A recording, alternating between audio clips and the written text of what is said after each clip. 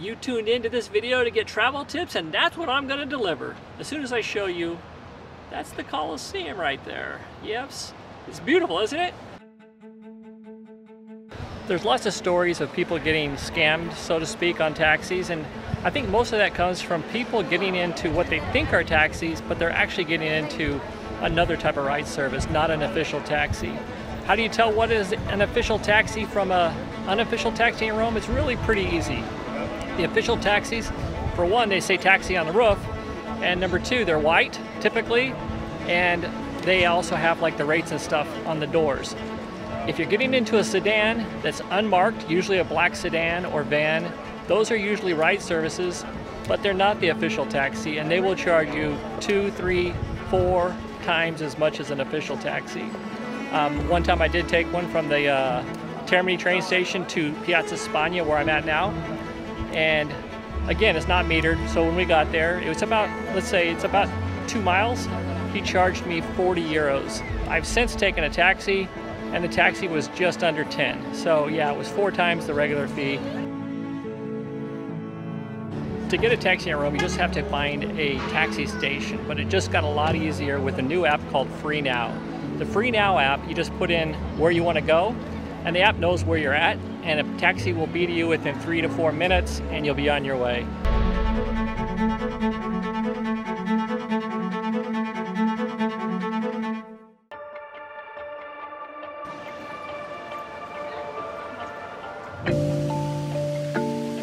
The trick to getting into the Vatican without a line is you get here at 8 in the morning when it first opens. At 8 in the morning, there's no line whatsoever. You can just walk on into the Vatican and you don't have to deal with the big crowds.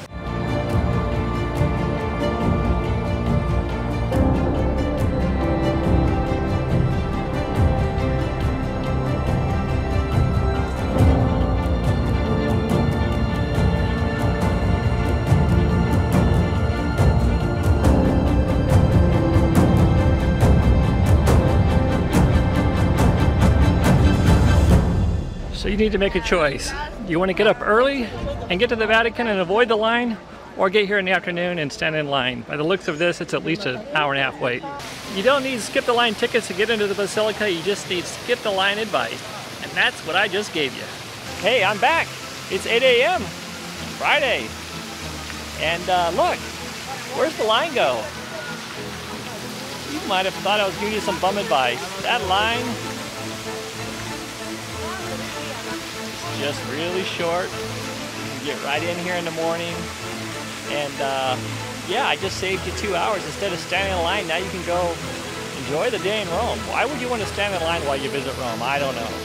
But a lot of people do. They obviously don't subscribe to my channel because they'd know better if they did.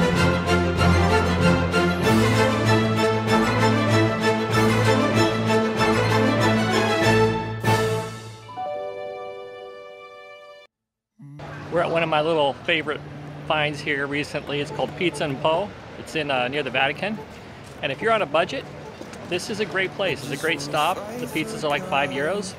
You can eat a lot of good food in Rome for less than $20 a day. What I would say, if you're on a budget, avoid restaurants.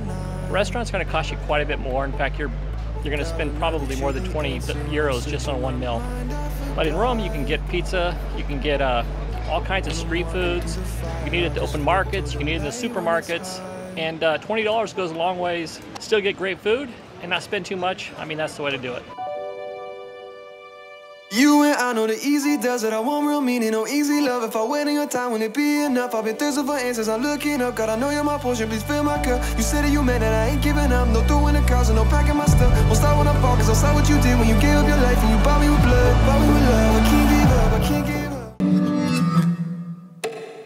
In Rome, there are 2,500 nasoni. That's what these public drinking fountains are called. They're, they're like noses coming out. The water's flowing. The water's great here. It's safe to drink. It's free. And uh, literally, they're all over Rome.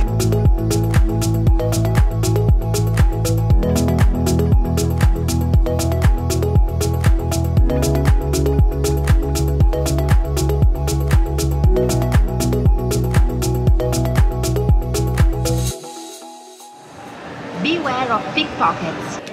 Pickpocketing in Rome does happen, unfortunately. and I have a whole video about how to avoid being pickpocketed while you're in Rome.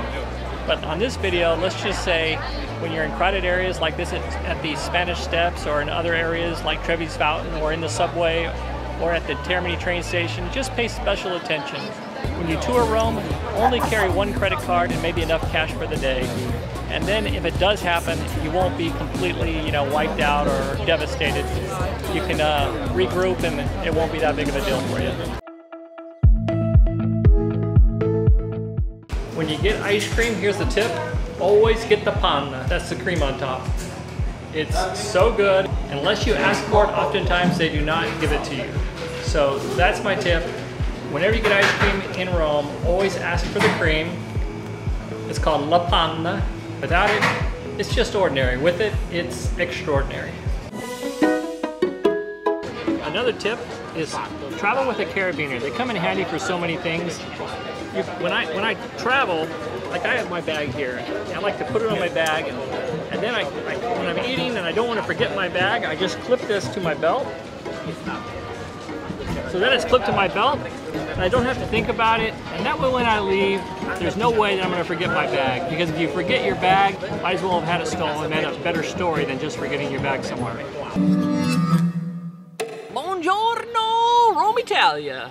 That's where we're at, Rome, Italy. That was a tribute to Robin Williams, I guess. Anyway, um, this tip is going to save you some stress, maybe even some money if it happens to you, which it did happen to us. My wife's passport was stolen and we ended up having to go to the embassy to get that replaced. It was 125 euros. We were there with another 40 or so people getting their passports replaced. It does happen. People lose them. They are stolen. So it's best not to tour the city with your passport. Leave the passports in your hotel, in your Airbnb, put them in your safe if there's one, but don't tour them with you. There's no need to. You just take a picture of your passport, and in the case of an emergency, you have that. That works just fine. And uh, yeah, keep that passport safe and save the headache of having to go to the U.S. Embassy in the middle of your vacation. Yes, that's a good advice, I would say. Take it for what it's worth. First rule of thumb when riding Rome's metro is to not take your personal luggage onto the metro. When you're arriving in Rome from Termini or from the airport, take a taxi. They're not that expensive and it'll save you a lot of hassle. I see people all the time taking their bags onto the metro. And if you're an Italian, that's one thing, you kind of know your, the lay of the land, you kind of know where you're going. But when you're a tourist, you're a little bit disoriented, you're a little bit lost, and, and uh, pickpockets can sense that. Then when they see that you're distracted with luggage, you become a prime target. So you're in Rome and you're ready to get on public transportation and you need to get tickets. Um, a ticket is one and a half euro, and here's how the tickets work.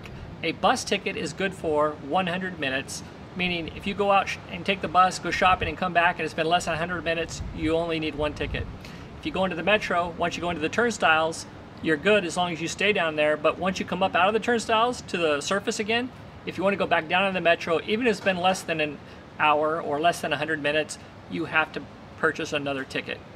But there's a new thing in town called Tap and Go. And with Tap and Go, you no longer need to have tickets. You can just use your credit card as your ticket.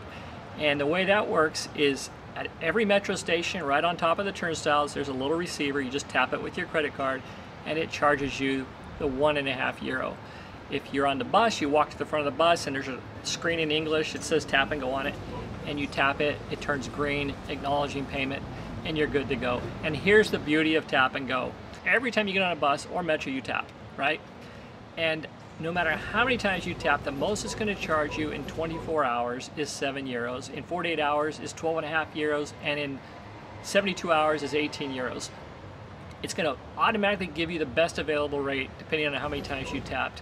So that's the great news. You no longer have to decide, do I need to buy the three-day pass or do I need the one-day pass? Am I going to use the metro as much as I think I am? Now you just tap every time and it's going to give you the best available rate.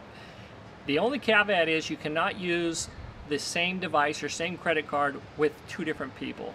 You need to have, if you're going to use the same credit card, you can do that, but you need to have it on two separate devices. Like you could, your wife or whoever could have it on their phone and you could have their actual credit card or you could both have it on your separate phones, but you can't use the same phone or same credit card to make two separate purchases because it's tracking you individually and that's just how that works.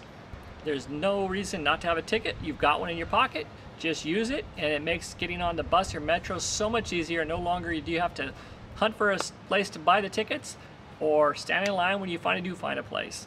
If you do still want to buy tickets, the way you get those is at a tabaccaio. Any place that sells tobacco products in Rome sells metro and bus tickets. And the way you know is you're walking down the street, you'll see these T's like on top of like, sometimes they're in bars and sometimes they're just tobacco stores. But if they have a T, which stands for tobacco, that means they're an authorized distributor for the uh, bus and metro tickets, and that's where you'd get them.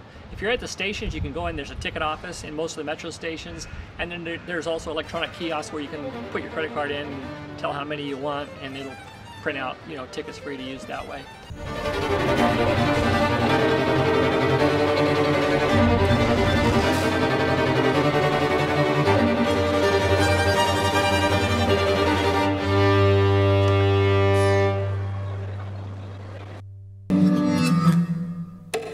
Another tip, never get on the bus or metro without a ticket. They will fine you and the fines are steep. Now they don't check every time, maybe only 10% of the time, but if you get caught without a ticket, the fine is like 100 euros. And I have seen people try to talk their way out of it. I mean, they spend 10 minutes, you know, arguing. Hey, I didn't know, I don't speak Italian, whatever. They don't care and they will fine you. They have very thick skin, they've heard it all. If you're on the metro or a bus, you need to have a valid ticket. So the way you do that is you have a ticket, first of all, and you need to validate it when you enter into the bus. Tickets for the bus are good for 100 minutes. So if you validated it on your first bus, it won't validate a second time. You just need to know, let's say you got on at 3 o'clock, you need to know roughly 100 minutes from now, you're going to need another ticket if you're on that bus. Um, or a different bus, let's put it that way. If you're on the metro, a little different because you're going to use the ticket. It's going to validate when you go in. It's going to open up the, the turnstile for you. But then you need to take that ticket because where they check on the metro is when you're exiting the metro. And again, they don't check every time, but if they do check, it's going to be at the turnstiles on the way out.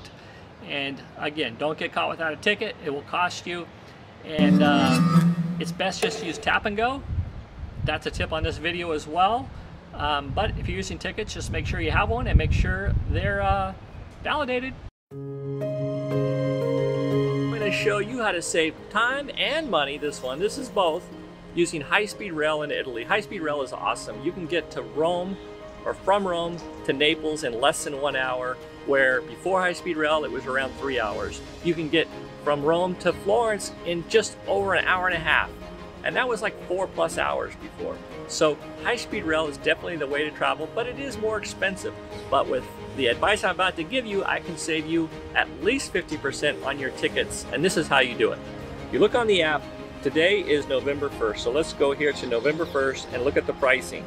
You book the day of or one or two days out, your pricing is going to be fairly expensive. Okay, going, the cheapest rate I can find here today from here to Florence is 49 euros, okay? And there's others that are 59 euros depending on the time of day and which train you take. If I book out a bit in advance, there are so many tickets they allow for every train at discounted prices, but they sell out. So in, in high season, they sell out, you know, even two, three weeks in advance. In low season, sometimes three, four, five days in advance to get the full savings. And I'll show you. Here I can book out basically a week. A week from now, which is November 8th, and I'll search the same this is for the same trains. Searching. Okay, now, look at this. If to take an early train out, like 5.40 in the morning, pretty early, you can get there each way. This is each way is 12.90, under 13 euros. But for a regular ticket, I mean, let's let's face it, 5.40 is not very appealing to, to get to the train station. I have to get up at 3 in the morning to do that. So you can get a ticket for around 26 euros, depending 22 euros there's, there's quite a few here to choose from. And if I went out a little bit further, let's just see. I don't know it's going to change much. This is to the 15th, okay? Oh yeah, there actually are some pretty good savings. You have a 725 for 990 going out another week. You've got uh, 740 for 1240. So you've got an 855 for 2190. And then the rest of them are around 23, 24 euros. So booking, even in uh, off season, going out two weeks does save you additional.